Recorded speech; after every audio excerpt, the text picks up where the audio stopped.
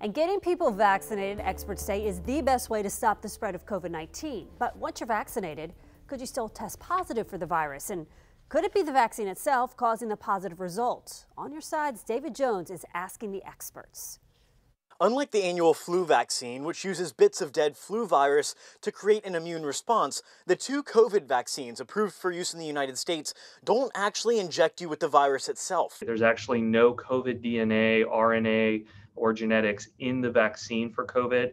Uh, they're just blueprints to teach your body uh, how to how to make that response. Chad Neilsen is director of infection prevention at UF Health. We wanted to ask him whether getting the COVID vaccine could impact test results. For the nasal swab test, known as the PCR test, the answer is no.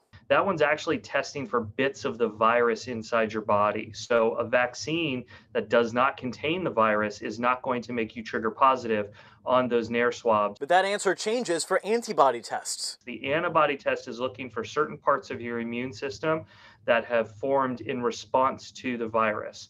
If you've been vaccinated once or even twice, you might pop positive on an antibody test because your body has formed that response due to the vaccine. The science is still out on whether the vaccines can stop you from being infected in the first place. What they can do is stop serious symptoms and death. Scientists are also studying whether you can carry and pass on the virus after being vaccinated, meaning masks and social distancing remain a must to protect yourself and others. David Jones, First Coast News, on your side.